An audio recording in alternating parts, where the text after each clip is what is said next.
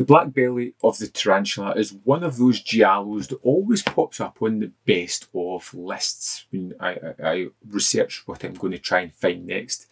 It's one that I've wanted to see for a while. Now, uh, the, the basic story revolves around Inspector Tonelli, a man who is deeply unhappy with his career. He doesn't really like being a police officer.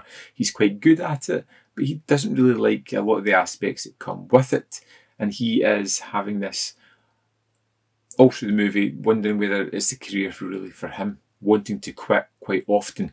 And he's investigating these series of murders. There is some masked man out there who is inserting these needles into women's necks, paralysing them, and then cutting open their stomachs in rather brutal sequences. The first one we see getting taken out is Barbara Bouchet, who's in the movie for maybe 10 minutes before she is decimated at the start of this movie.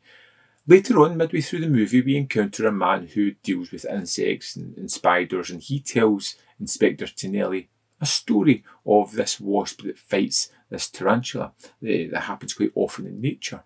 And the, the wasp kills the tarantula, uh, implants larvae into its belly, and then the larvae eat the tarantula uh, while it's still kind of alive, disemboweling it, and then becoming something new out of that. And that's kind of what the killer is doing to these victims. But it also is what's happening to Tonelli as well. His wife uh, has moved into the, their flat.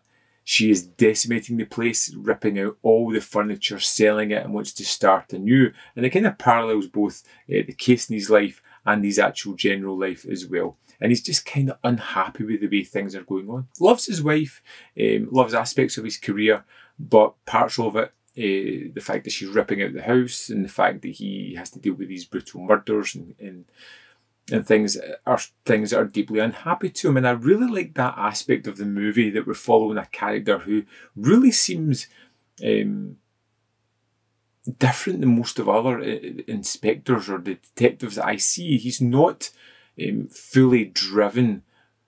Um, he has faults and quirks. He's not 100% happy with his job, and I think that adds to the realistic nature of that character.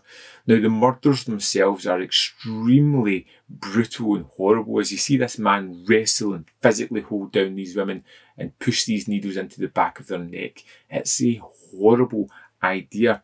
And then the big knife and slowly cutting them open while they're paralysed but can still know what's happening to them is just disgusting, both torturous, uh, physically and mentally for the victims.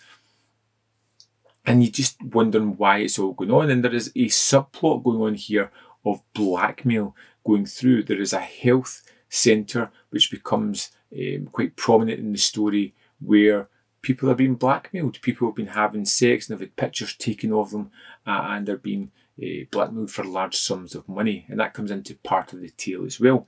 I really liked Black Belly of the Tarantula. I loved the performance of Giancarlo Gianni uh, as Tonelli. I thought he was wonderful, and I think he's one that really ties the movie together. The way he is constantly hunting things down, the faults that the character has is just great.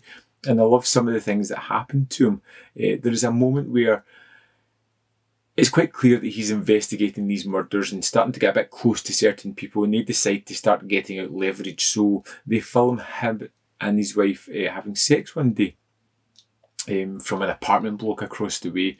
And he never really finds out about it. Things happen and they don't get a chance to blackmail him. But they discover this film in a dead body's flat. Uh, they have it um, processed, and then when they're showing it to all the police officers one day, they all see that it's him having sex, and he's just kind of slowly sinking into his seat, just like this. I hate this. I hate this job. I hate everything about it.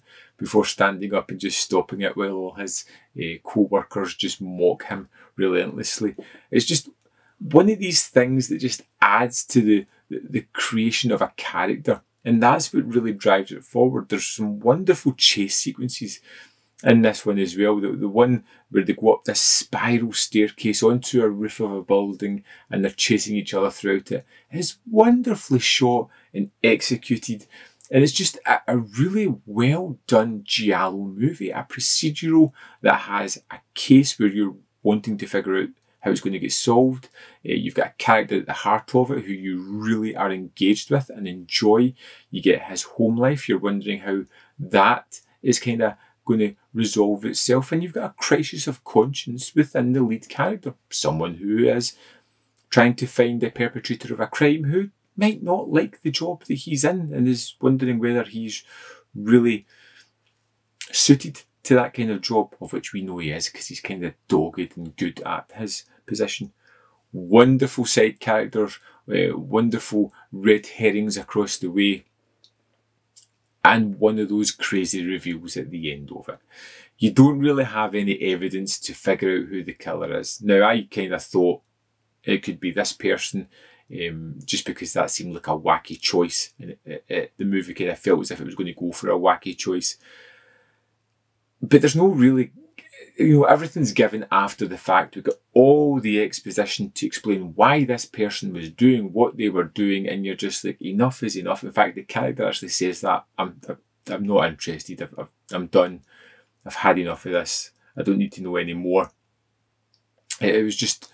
Um, just just crazy reveals. You know, it sometimes happens in these giallo where you, you, there, there's absolutely no way that you could solve the mystery yourself. It's just all put in a platter for you at the end. But the black belly of the tarantula was incredibly fun, really engaging, with a wonderful character at the heart of it. I really enjoyed it, and I'd love to know your thoughts on the movie if you've seen it. Let me know in the comment box below, and I'll see you next time on Man v Film.